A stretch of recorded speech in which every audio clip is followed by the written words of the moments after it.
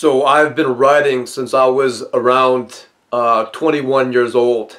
I will put it, I will uh, say 21 was when I first started writing a lot. Uh, before that, when I was 19, what I would do is I would take a uh, tape recorder and I would bring it to my friend's house and we would be sitting there drinking 40 ounces. We'll be drinking beer and I will have the, uh, the audio the uh, tape recorder on the table and I would just record us talking. And I thought that that would help normal conversation. I uh, wanted to write something about, you know, a bunch of people hanging out. So I kind of wanted to have a carefree uh, part to that uh, story. And I wanted to be, and I wanted it to be realistic sounding. So uh, that's how I thought I could capture some uh, conversation that would sound very realistic is by uh, doing that. And uh, it was amusing. Not a whole lot came of it. There wasn't a whole lot of good lines. So it's not uh, something that um, is going to help too much.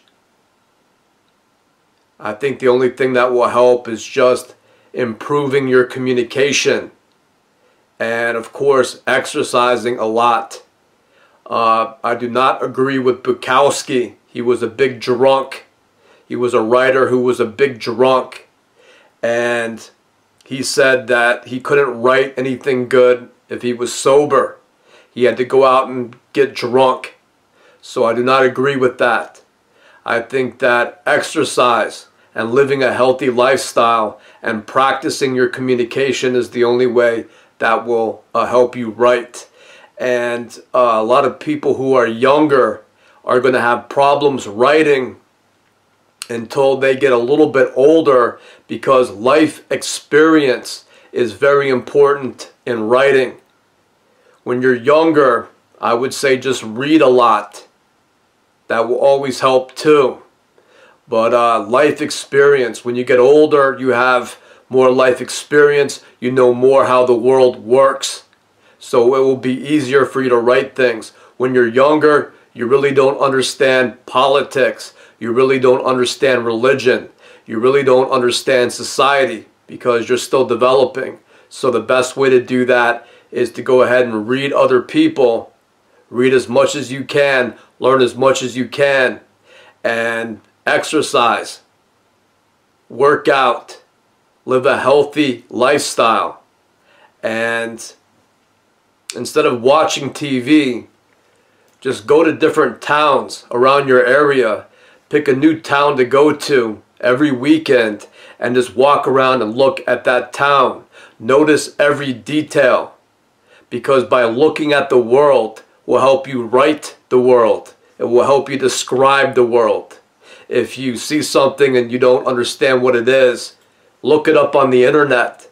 And by doing all of this, we'll create a learning uh, mechanism and will help you uh, describe things. It will help you uh, with details. It will help you with your story.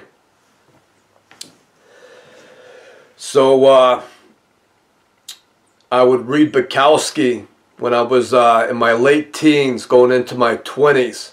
And he was good because he did not give you too much description.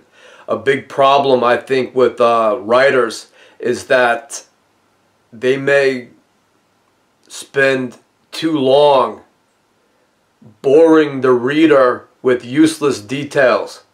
It's like they want to fill pages because they want to have a four or five hundred page book that sits, you know, uh, at the supermarket or in the bookstore and the majority of the book is just filler. They don't have much to say, so they just want to fill the book up with useless dialogue and useless description. Bukowski, Charles Bukow Charles Bukowski, he uh, was good because he got right to the point. He practiced a form of storytelling or writing, which is uh, when you're hanging out with your friends your friend will be like, Did you hear what happened? Let me tell you a story about what happened. And uh, they get right to the point. They don't say it was a fall day and the leaves were just changing color and they were falling uh, off the trees and the wind was blowing them in a spiral pattern. Uh, and as cars uh, drove past, they also kicked the leaves up uh, in a uh, fiery display of autumn. Uh, you know, George was walking down the street with his favorite pair of blue jeans on. He bought the blue jeans, you know, at the Goodwill.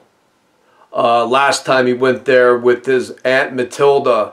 His Aunt Matilda insisted on uh, buying things at secondhand stores and on and on and on. That's useless filler. It's uh, a writer who is getting off on the fact that they could describe things and they just fill the pages up with that sort of crazy writing. And a good example of that is Stephen King. He has a lot of interesting stories, but I, will skip ahead pages and pages at a time looking for the next interesting or important part of that book. So Charles Bukowski was known to get right to the point. He uh, would tell you a story like your buddy sitting across the table from you, you know, at a restaurant or at a, uh, you know, at, at a diner. Uh, your buddy hanging out with you. You go take a drive somewhere with your buddy. You go take a drive somewhere with your buddy. He's going to tell you a story. He's going to get right to the point.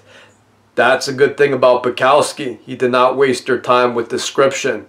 Everything was a point to the story. And he hung out with a lot of people so he could describe people real well. And a lot of the people that he hung out with were, uh, I guess you could call them street people. He would often wind up on Skid Row, is what he would call it, or at different tenement houses.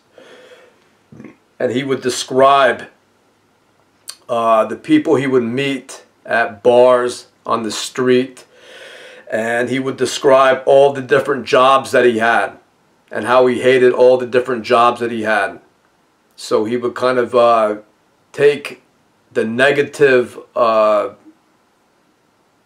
the negativity in his life or the low points in his life, like working a dead-end job and being surrounded by people who are kind of crazy or negative, and he would describe them in a story, and he would make something positive out of something negative, which was important. So uh, Bukowski was a good influence in that regard, but he was definitely not a good influence when it comes to suggesting that people uh, drink and write. He called it uh, Ex-Lax for the soul. He said alcohol was Ex-Lax for the soul. And of course, Ex-Lax is something that you take when you can't use the bathroom. And it helps you take a crap. So he's saying basically if you drink a lot, uh, your mind or your soul will take a crap on your document. So a lot of what you're going to write will be crap.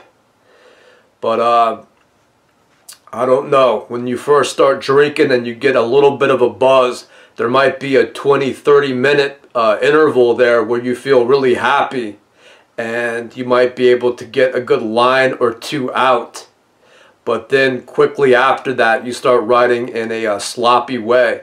So take my uh, advice.